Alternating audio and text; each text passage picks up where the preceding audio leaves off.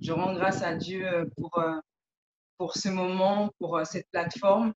Vraiment, je suis très honorée de pouvoir être là et je ne prends pas ça pour un acquis, c'est vraiment une grâce. Je veux vraiment rendre grâce à Dieu pour, dans un premier temps, pour mes pères dans la foi. Mm. vraiment, je bénis le Seigneur parce que je crois que je ne pourrais pas me tenir ici si Dieu ne s'était pas servi d'eux comme des instruments. Donc, quand je parle des pères, c'est bien évidemment le pasteur Ivan, le pasteur Maud, le pasteur Yves, le pasteur Abi, le pasteur Jacques, le pasteur Adrienne, que vous connaissez certainement. Je voudrais également prendre le temps de rendre grâce à Dieu pour vos pasteurs, le pasteur euh, Lucas et ainsi que son épouse, euh, le pasteur Marie-Ange. Vraiment, c'est, euh, ce sont des amis de l'ONDAC, ce sont des, vraiment des compagnons.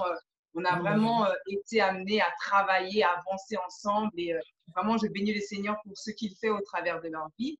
J'ai euh, été euh, dans les débuts, euh, j'ai eu la grâce de pouvoir venir à ICC Rouen. Et ah ben. vraiment, je garde de très bons souvenirs. On avait passé d'excellents moments dans la présence de Dieu.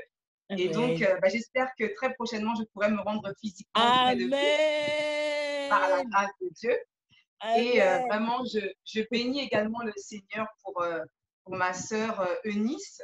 Vraiment, je suis très contente de pouvoir la retrouver sur cette plateforme. On a aussi euh, évolué ensemble au départ à Impact Centre Chrétien et euh, nos chemins se sont euh, quelque peu séparés, mais Dieu fait, qui fait toutes choses bonnes en son temps permet qu'aujourd'hui, plusieurs années après, parce que ça fait à peu près 13 ou 14 ans que chacune a pris sa voie, mais on se retrouve encore sur cette plateforme et vraiment, je bénis le Seigneur pour ce moment et ce temps. Je crois qu'on va passer un excellent moment. Euh, avec vous, les parents qui sont euh, connectés. Je vois plus de mamans d'ailleurs. Hein, euh, Pasteur Lucas, je crois que vraiment il y a un travail à faire avec les papas parce que je ne vois pas d'autres papas connectés mis à part toi.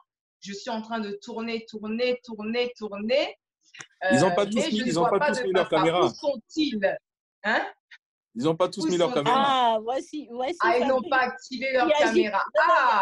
Ah, j'en vois un. Voilà. Alléluia. Voilà vous êtes venus à mon secours. Vraiment, que Dieu bénisse tous les papas. J'en vois quelques-uns là. Bon, je suis rassurée parce que là, vraiment, je me disais, euh, qu'est-ce qui se passe? Donc, vraiment, je, je bénis le Seigneur pour euh, ce moment qu'on va passer ensemble. Je vois aussi qu'il y a énormément de personnes qui sont connectées de partout. Alors, à côté de la Guadeloupe, euh, j'ai vu aussi des personnes de Montréal, de Rouen, de Tours, de Paris. Vraiment, soyez les bienvenus. C'est vraiment une grâce. On prend rien comme acquis. Hein. Vous savez, euh, ce moment ne serait pas si vous ne s'étiez pas connecté. Donc vraiment, je rends grâce à Dieu pour euh, chacune des personnes qui s'est connectée, qui a pris le temps euh, pour choisir la bonne part, je le crois, par la grâce de Dieu. Et surtout, je voudrais vraiment remercier toute l'équipe de Impact Centre Chrétien Rouen qui rend ce moment possible. Vous savez, derrière une simple connexion Zoom, il y a énormément de personnes qui s'activent pour les micros, pour faire ci, pour faire ça, pour réfléchir. Et vraiment que le Seigneur vous rende au centuple pour ce que vous êtes en train de faire parce qu'au travers de ce moment, des vies vont être challengées, des vies vont être Amen. et on rend toute la gloire à Dieu. Donc, sans plus tarder, je vais commencer sur le thème de, notre, de, de, ce jour. Le thème aujourd'hui qui nous réunit, c'est comment préparer ses enfants à la rencontre du Seigneur. Et vraiment, avant de pouvoir parler de cette rencontre, de comment préparer nos enfants, j'aimerais partager avec vous certains prérequis qui me semblent être très importants avant que l'on puisse commencer à entrer en profondeur. D'abord, la première chose que nous devons comprendre, et donc que nous savons, mais que nous devons réaliser, Marie-Ange l'a dit euh, tout à l'heure, dans cette période de confinement, je crois que certains vont au retour à la rentrée faire des offrandes aux maîtresses. Et je serai là bien, je, vais les récupérer avec plaisir. Parce que la réalité, c'est que c'est un travail. Et vraiment, j'aimerais qu'on puisse comprendre que pour un couple, une famille, c'est une bénédiction, c'est une grâce, c'est un don que Dieu fait. C'est pas parce que nous sommes mariés que c'est aussi limpide que ça que nous allons avoir des enfants. Nous devons être conscients, nous les parents, nous les mamans, nous les papas, que c'est une grâce, c'est un don que Dieu nous fait. Voyez, et, c'est une bénédiction. Vous voyez, quand, quand euh, l'ange a visité Marie, il a dit à Marie par deux fois, c'est une grâce que Dieu te fait de porter un enfant. Pourtant, quand on voit la grossesse, quand on vit les grossesses, on se dit, mais vraiment, est-ce que c'est vraiment une grâce finalement? Quand on a la salivation excessive, qu'on prend 25 kilos, qu'on a un gros ventre, qu'on est fatigué, on se dit, mais est-ce que c'est une grâce? Oui, parce qu'il y a au-delà de cette étape, la grossesse, c'est juste une étape. Donc vraiment, c'est une grâce que Dieu nous a faite c'est une grâce et c'est également une bénédiction, c'est également un don, un cadeau de Dieu. Et on doit être conscient d'une chose, c'est que tous les dons que Dieu nous fait, c'est pas pour nous-mêmes. Le don que Dieu nous a fait en nous donnant des enfants, c'est pour l'utilité commune. Ces enfants ne sont pas nos propriétés. Ces enfants appartiennent à Dieu. Il nous les confie un temps, il nous les confie un moment pour qu'on puisse les amener à la maturité spirituelle et également à la maturité physique. Voyez, c'est vraiment important de comprendre cela parce que lorsqu'on ne comprend pas, lorsqu'on comprend pas que c'est une bénédiction, un don, on a tendance à banaliser ce que Dieu nous a donné. C'est un cadeau, c'est un don. Donc regarde tes enfants là où ils sont et tu dis Seigneur, je te rends grâce de ce cadeau, de ces cadeaux, quelle que soit la situation dans laquelle tes enfants se trouvent aujourd'hui. Vous voyez? Et la venue d'un enfant, la venue d'un enfant confère aux parents un nouveau statut, un nouveau rôle, une nouvelle responsabilité, celui de parent. Voyez, les parents vont devoir maintenant accompagner cet enfant afin qu'il grandisse, comme je l'ai dit, et qu'il parvienne à la maturité. La maturité, c'est aussi euh, la maturité 18 ans, hein, parce que dans les pays dans lesquels nous sommes, c'est l'âge de la maturité, mais c'est également la maturité spirituelle et on va le voir un peu plus en détail. Donc, ce pont-là qui relie l'enfant pour arriver à la maturité, c'est ce qu'on appelle l'éducation. Et vraiment, l'éducation est indispensable pour poser des fondements solides dans la vie de nos enfants. Ces fondements qui vont les accompagner toute leur vie. Quand on commence à bâtir une maison, on ne commence pas d'abord à se dire, bon, je réfléchis au papier peint. On commence d'abord à creuser les fondations. L'éducation, c'est les fondations sur lesquelles l'enfant va être bâti et va après lui-même bâtir sa vie. Donc, vraiment, c'est important que l'on comprenne ce qu'est l'éducation. L'éducation, si on prend la définition dans le dictionnaire Larousse, c'est l'art de former une, personne, spécialement un enfant ou un adolescent, en développant ses capacités physiques, intellectuelles, morales, de façon à lui permettre d'affronter sa vie sociale et personnelle avec une personnalité suffisamment épanouie. Je répète, c'est vraiment important, c'est l'art de former une personne, un enfant ou un adolescent, en développant en lui des capacités physiques, intellectuelles, morales, de sorte à ce que cet enfant puisse lui-même par la suite euh, affronter sa vie sociale et personnelle avec une personnalité épanouie. C'est donner une culture à l'enfant également. Voyez, et euh, pour parler, pour venir un petit peu à l'éducation, le rôle des parents, en fait, la réalité, c'est qu'il commence pas seulement à la naissance des enfants. Le rôle de parents, en fait, on l'a déjà le jour où on va à la mairie, le jour où on décide de se marier avec un homme ou avec une femme. Qu'est-ce que fait le maire ce jour-là? Après avoir fait un bon discours, après que euh, nous avons été accueillis, après que nous ayons euh, voilà, fait la cérémonie, le maire fait quelque chose de très symbolique. Le maire nous remet un livret de famille. Comme pour dire maintenant, on reconnaît que vous pouvez être parent. Vous voyez, à 18 ans, on n'a pas euh, de, on a une carte d'électeur, mais on n'a pas le livret de famille c'est lorsqu'on est marié que l'État consent maintenant à nous donner un livret de famille. Alors, bien évidemment, euh, on est parent à partir du moment où, on commence à penser à notre rôle de parent, à partir du moment où on fonde un foyer, on fonde une famille, d'accord, dont le socle est bien évidemment le couple. Et voyez, lorsqu'on fait cela, en fait, l'État a, des attentes par rapport à l'éducation. Il a des attentes par rapport à notre foyer. Et quand tu regardes dans, dans le Code civil, quand on regarde dans le Code civil, on va voir que l'État a des attentes en matière d'éducation. On dit que les parents ont ce qu'on appelle des droits et des devoirs, parmi lesquels on trouve par exemple de fixer la résidence de l'enfant, le devoir de surveillance, protéger la santé, la sécurité, la moralité.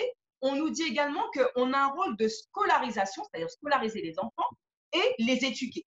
Alors, les éduquer, c'est pas seulement euh, les envoyer à l'école et puis se débrouiller. Non, dans les textes, dans les textes juridiques, il est dit qu'on doit apporter une éducation morale, civique, religieuse, oui, c'est bien écrit religieuse, sexuelle, etc. Vous pourrez regarder les textes. On doit également inculquer des principes de vie et également, on a une obligation d'entretien. Voyez, c'est pour ça, voyez, le but de tout ça, le but de l'État, c'est que nous puissions, en fait, en tant que parents, prendre conscience de notre responsabilité et que ces enfants demain deviennent des citoyens qui pourront contribuer à l'avancement de, du pays, de la nation dans laquelle nous sommes. Voilà. Donc, vous avez vu que l'État a des attentes, Dieu aussi a des attentes en matière d'éducation. Il nous demande, euh, et ce que Dieu nous demande, c'est pas seulement d'inculquer à nos enfants les bonnes manières. C'est pas seulement de pouvoir faire de nos enfants euh, des, des, des, intellectuels. Il faut bien évidemment accompagner scolairement son enfant. Il faut l'accompagner dans toutes ses tâches. Alors, je vais un peu vite, c'est ça? Je vais ralentir parce que c'est vrai que le temps est court, j'ai beaucoup de choses à dire. Mais euh, si je vais vite, je vais ralentir. Voilà. De toutes les manières, il y, a déjà, il y, a déjà, deux définitions que je vais te redemander quand tu finiras. Mais c'est pas grave, pour le moment, tu peux continuer. Mais ralentir un tout petit peu. D'accord. Donc, l'éducation que Dieu nous demande de donner aux enfants, c'est de, c'est plus que de leur inculquer les bonnes manières. C'est plus que euh, de faire de nos enfants euh, des personnes qui vont réussir dans le domaine euh, naturel. C'est, c'est, il faut le faire, mais c'est au-delà de ça. Et vraiment, ensemble, on va prendre le proverbe 22, verset 6, que nous avons bien évidemment beaucoup entendu, que nous avons lu, et nous allons vraiment entrer en profondeur dans ce proverbe 22, verset 6. La Bible nous dit, instruis l'enfant selon la voie qu'il doit suivre, et quand il sera vieux, il ne s'en détournera pas. D'autres versions disent, instruis le jeune enfant à l'entrée de sa voie, lors même qu'il sera vieux, il ne s'en retirera pas. Ici, euh, de la même manière que à la veille des rentrées scolaires, on emmène nos enfants sur la voie de l'école, on les prépare, on, leur met un cartable, on leur met euh, des trousses, on leur met tout ce dont ils auront besoin pour pouvoir euh, assurer leur scolarité. De la même manière, Dieu nous demande d'instruire l'enfant et de mener selon la voie qu'il doit suivre. Il y a une voie que l'enfant doit suivre. Et ici, la voie, il y a deux aspects au niveau de cette voie. La première voie, vraiment, et il faut qu'on soit conscient de ça, parce que la Bible nous dit dans Psaume 127, verset 5, que nous sommes en fait, il dit, je vais, vous le dire, l'héritage, euh, Psaume, 127, verset 3 à 5, l'héritage que l'Éternel donne, ce sont des fils. Les enfants sont une récompense. Les fils qu'un homme a dans sa jeunesse sont pareils à des flèches dans la main d'un guerrier. Heureux l'homme qui en a plein son carquois il n'aura point honte quand il parlera avec les ennemis à la porte. Ça veut dire quoi? Ça veut dire que nous avons une responsabilité parents. Nous avons une responsabilité seule, en effet, de remplir bien évidemment, mais également de lancer ces flèches dans la bonne direction, dans la bonne voie, avec l'assistance du Seigneur, bien évidemment. Donc, la mission que nous avons, c'est de conduire l'enfant dans la voie qu'il doit suivre. Je vais prendre les deux aspects que je vois au niveau de ce, point. La première voie, c'est la voie du Seigneur Jésus. La Bible dit qu'il est le chemin, il est la vérité, il est la vie. C'est la voie, c'est ce, la voie par excellence que les enfants que Dieu nous a confiés doivent suivre. Et c'est à cette voie-là, c'est dans cette voie-là que nous venons les confier. La Bible nous a donné comme commandement, allez et faites de toutes les nations des disciples en les baptisant au nom du Père, du Fils et du Seigneur Jésus. Du Fils et du Saint-Esprit. Ça veut dire que la réalité, c'est que en tant que parents chrétiens, la première mission, la première Jérusalem, le premier endroit où nous devons exercer notre ministère, c'est notre famille, c'est notre maison, c'est notre foyer. Nous devons faire de ces enfants que Dieu nous a confiés pas des enfants qui nous suivent à l'église de dimanche, pas des enfants qui sont seulement à nous suivre ou qui euh, ou penser que parce qu'ils sont nés dans une famille chrétienne, ils deviendront assurément chrétiens, parce qu'on ne naît pas chrétien. On fait une rencontre avec le Seigneur Jésus-Christ. Et nous devons être ces guerriers qui vont lancer ces flèches dans la bonne direction. La bonne direction, la direction du Seigneur Jésus-Christ. Voyez? Euh, Et c'est vraiment important voyez, on doit faire de ces enfants des disciples, pas des croyants, pas des personnes qui nous suivent à l'église, pas des personnes qui ont euh, des cours à l'école du dimanche. Non, on doit en faire des véritables disciples qui suivent Jésus et qui suivent les traces de Jésus-Christ comme nous-mêmes nous suivons ses pas. Dans Galates 4, verset 19, Galates 4, verset 19, Paul dit, mes enfants, j'éprouve des douleurs, les douleurs de l'accouchement pour vous, jusqu'à ce que Christ soit formé en vous. Alors, j'ai une bonne nouvelle. Vous savez, on a donné premièrement une, on a donné naissance naturellement. Pour certaines, ça a été plus ou moins aisé. Et en fait, Dieu nous dit ici, au travers de la bouche de Paul, que en fait, nous avons éprouvé une première douleur physiquement au départ pour pouvoir donner la naissance euh, aux enfants naturels que nous avons portés. Euh, et il dit également maintenant qu'il éprouve lui encore les douleurs de l'enfant. Ça veut dire que pour que l'enfant naisse de nouveau, il y a encore un autre accouchement qui va avoir. Et vous avez souvent, euh, les femmes qui, ont accouché peuvent en témoigner, les maris qui étaient à côté de leur femme aussi peuvent en témoigner. L'enfantement, accoucher, c'est pas quelque chose de simple et accoucher. Je vois Marie-Ange qui rigole, je crois qu'elle a en mémoire ces, quatre grossesses. voilà. Et, et vous voyez, là, il n'y a pas de péridurale hein, pour la deuxième, euh, la deuxième naissance. Là, hein. On va devoir porter, on va devoir enfanter jusqu'à ce que Christ soit formé dans ses enfants. Quand ils vont, il faut qu'ils naissent de nouveau. Ils sont nés naturellement, ils sont manifestés ici-bas sur la terre, mais ils vont devoir naître de nouveau. Et Paul dit, qu'il ressent encore les douleurs de l'enfantement. Ça veut dire que pour amener ses enfants, il y aura un prix à payer. La femme enceinte paye un prix. Et pour parents, pour pouvoir faire que ses enfants viennent au Seigneur, il y aura aussi un prix à payer. Alors, quelqu'un va se dire, me, demandera, me demandera, mais comment concrètement euh, on, va, on, va, on va, comment ça se fait? Comment on va, on va faire ça? J'arrive et je crois que également Eunice complétera euh, ce que je suis en train de dire. Vous voyez, il y a vraiment le parallèle avec quelqu'un qui est né de nouveau. Quand on est de nouveau, on prend soin de l'enfant. Pareil, on va devoir prendre le soin de l'enfant. Et ce travail, chers parents, nous devons ne pas le déléguer totalement à des plateformes comme l'école ou comme l'école du dimanche. Je bénis le Seigneur tout le travail excellent qui est fait dans les écoles du dimanche, dans les différentes églises. Je crois vraiment que Dieu fait de bonnes choses. Il a loin, il a équipé des hommes et des femmes pour pouvoir enseigner nos enfants, mais on ne peut pas déléguer totalement cette, ce travail d'éducation aux, euh, enseignants ou encore euh, aux, aux parents. Donc ici, chaque parent a un travail. Et c'est pour ça que je me plais à dire que, franchement, être parent, c'est un travail. Être parent, c'est un ministère à temps plein. Et si tu es femme au foyer, je t'assure, tu n'as même pas à rougir parce que c'est un vrai travail que tu accomplis chaque jour. C'est juste une parenthèse que je voulais ouvrir. Et voyez, ici, chaque parent a un rôle différent, mais complémentaire. La Bible nous dit dans Proverbe 1, verset 8, Écoute, mon fils, l'instruction de ton père et ne rejette pas l'instruction de ta mère.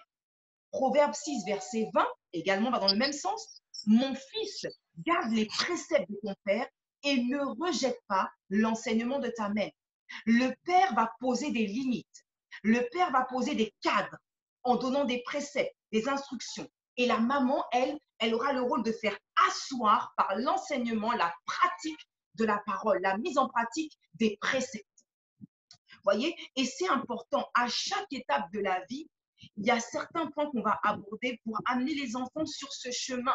Voyez, parce que le but, c'est que l'enfant puisse s'épanouir dans le cadre familial qui respecte un ordre établi par Dieu où règne bien évidemment une harmonie, familiale.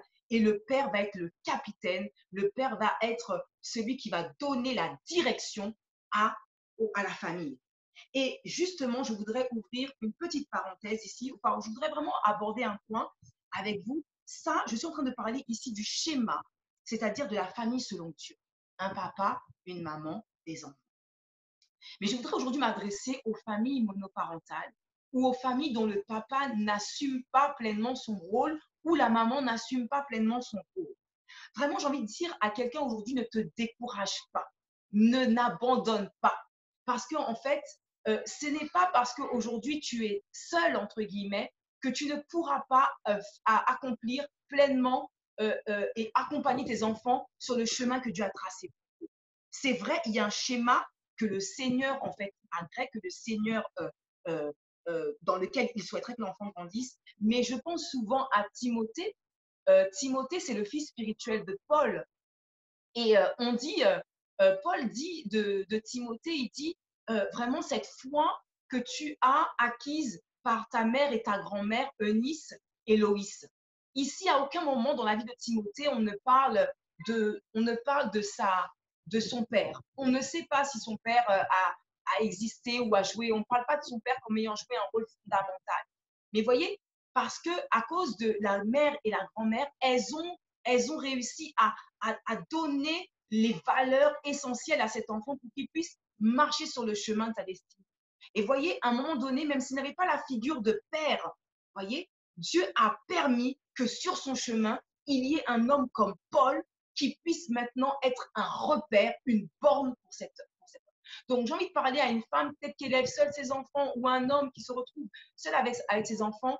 Il faut vraiment compter sur la grâce et la miséricorde de Dieu et croire que nous servons un Dieu d'amour, un Dieu bon, un Dieu miséricordieux, un Dieu qui est capable de faire infiniment au-delà de ce qu'on peut penser et imaginer.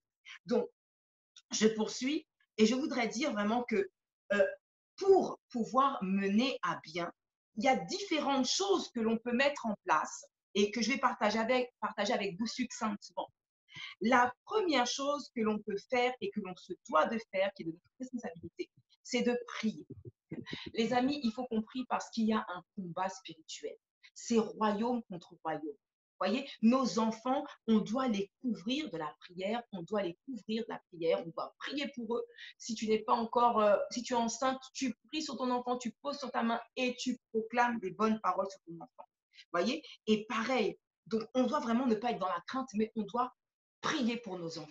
Prier, prier et encore prier. Il y a un combat qui se mène dans le spirituel. Euh, tout sera fait pour que nos enfants puissent s'égarer, puissent changer de chemin mais nous, ce ne sera pas notre partage au nom de Jésus-Christ. Dans la prière aussi, il est important de prophétiser. Quelqu'un se dira, mais moi, mon enfant, il est déjà vieux, c'est compliqué, c'est ce que Nicodème se disait. Mais comment moi, je vais rentrer encore dans le ventre de ma mère? Comment je vais faire? Ce n'est jamais trop tard. Avec Dieu, ce n'est jamais trop tard. Nous sommes des personnes d'autorité établies sur nos enfants et notre parole a du poids. Arrête de dire que cet enfant est bon à rien et qu'il n'arrive pas à rien. C'est faux il a un potentiel. Chaque enfant a une étoile. Chaque enfant a une destinée. Chaque enfant a des plans glorieux que Dieu va accomplir dans sa vie. Arrête de regarder avec tes yeux naturels. La Bible dit que mon juste vivra par la foi. Commence maintenant à prophétiser ce que tu veux voir dans la vie de ces enfants et ce que Dieu, ce que la parole de Dieu déclare sur les enfants. Moi et ma maison, nous servirons l'éternel. C'est ce genre de parole que tu dois prophétiser sur ta, Et surtout, sème la bonne parole. Vous savez, beaucoup de parents, des fois, je discute avec eux, ils me disent, mais moi, je, je ne vois pas le changement, je fais que parler, parler, parler, parler. Continue de parler. Ne te lasse pas de parler. Ne te lasse pas. Tu sais, nous, les enseignants, on ne se lasse pas de répéter. On a répété lundi, mardi, jeudi. On dirait, ils nous disent non, on n'a pas vu ça. Et ils sont convaincus. On n'a jamais vu ça, maîtresse. Ne te lasse pas de répéter. Tôt ou tard, cette parole portera du fruit. Même si tu ne le vois pas, il a entendu. Ça a été planté. Alors, quand tu plantes, moi je ne suis pas trop jardinière, mais quand tu plantes une graine, ce n'est pas tout de suite hein, que la tige pousse. Il faut attendre un petit peu. Et bien pour certains, ça mettra un peu plus de temps. Mais continue à semer, continue à parler. Et à parler avec amour et avec l'espérance que Dieu est capable de changer tout type de cœur. Très bien. Deuxième chose que je voudrais partager avec vous. Nous voulons que nos enfants soient des disciples. C'est une très bonne chose, c'est une, c'est noble. Nous-mêmes soyons des disciples. On se reproduit selon son espèce. Si tu veux que ton enfant puisse euh, être un modèle en parole, en conduite, en charité, en foi et en pureté, nous-mêmes, je me parle à moi-même, je, ne viens pas en donneuse de leçons, je me parle à moi-même, soyons des modèles. Soyons des modèles. Des modèles en toutes choses. Voyez, et vraiment posons un cadre comme des enseignants pour vraiment que, la, vous voyez, posons un cadre. Vous savez, euh, euh, on enseigne ce que l'on sait, mais on transmet ce que l'on est. C'est tellement important. Tu as beau dire tout ce que tu veux. Mais si tu n'es pas le témoignage, ce que tu vas, en fait, l'enfant va même se refroidir. L'enfant va même penser que, bah, en fait, à l'église, on a un visage, et puis à la maison, on a un autre visage. Soit le même à l'intérieur qu'à l'extérieur. Soit la même à la maison qu'à l'extérieur. Soit la même personne. Travaille, à, travaille les vertus. On ne demande pas à ce qu'on soit parfait. Hein. Ah non, c'est pas ce que je suis en train de dire. Ce n'est pas ce que je suis en train de dire. On ne demande pas à ce que l'on soit parfait. On demande tout simplement à ce que on puisse chercher à suivre Jésus-Christ de tout notre cœur. Voilà. Et euh, je continuerai en disant, j'ai dit la prière, la parole, couvrons nos enfants de prière, couvrons nos enfants avec la parole, parlons avec eux, échangeons avec eux, communiquons avec eux. Euh, soyons des modèles, soyons nous-mêmes des disciples, attachons nous-mêmes à être des disciples de Jésus-Christ et vraiment inculquons-leur les bonnes valeurs. Un enfant, ça dépend de son âge, ne pourra pas être amené à rester assis trois heures à écouter la parole de Dieu comme toi et moi nous le faisons. Mais nous devons prendre toutes les situations de la vie quotidienne pour enseigner nos enfants. Ton enfant hier a, pris un bonbon dans ton sac, a pris quelque chose qui ne t'appartenait pas, a volé dans ton porte-monnaie. Assieds-toi et enseigne-le. Corrige cette attitude. Pourquoi? Cette attitude va développer, si elle n'est pas corrigée, une habitude qui demain, tu vas te brûler les doigts avec ça. Ton enfant a mal parlé à la maîtresse à l'école. Ton enfant a fait telle ou telle chose. Assieds-toi, corrige l'attitude, corrige ce qu'il a fait, afin qu'il puisse vraiment avoir les valeurs du royaume de Dieu. Ton baromètre et mon baromètre, ce n'est pas ce que les enseignants disent. Notre baromètre, c'est la parole de Dieu. On doit se baser sur la parole. Que dit la parole? On doit amener l'enfant à réaliser que là, ce que j'ai fait, ce n'est pas bien. Et comme ça, demain, lorsque tu ne le verras pas, il aura la ferme assurance que tu ne le vois pas, que maman ne le voit pas, mais Dieu le voit. Et je ne veux pas que papa et que mes parents soient tristes, et encore moi, je ne veux pas attrister Dieu. Voyez? Donc, c'est vraiment au travers de ces petites choses qui ont l'air insignifiantes, mais qui sont ô combien importantes, qu'on va développer les vertus et la crainte de Dieu dans le cœur de nos enfants. Amen. Donc la Bible, c'est pas seulement euh, la Bible, c'est pas seulement euh, un livre qui raconte des histoires. Non, la Bible, c'est notre, c'est notre Google. La Bible, c'est notre, c'est notre, c'est notre baromètre de vie. La Bible, c'est ce qui nous permettra de, réussir dans toutes nos entreprises. C'est ce que dit la parole dans Josué 1.8. La famille, c'est l'entreprise. Amen. Et vraiment, euh, j'aimerais nous encourager pour un autre point, sur un autre point toujours, j'entends souvent parfois des personnes qui me qui disent mais oui mais bon c'est vrai moi je ne sais pas comment faire j'ai pas forcément grandi avec mes parents j'ai pas forcément euh, je répondrai à cette question en fait en disant euh, comme Marie rapproche-toi de Élisabeth. Marie quand elle a été enceinte de trois mois qu'est-ce qu'elle a fait? Elle n'est pas restée dans son coin toute seule non.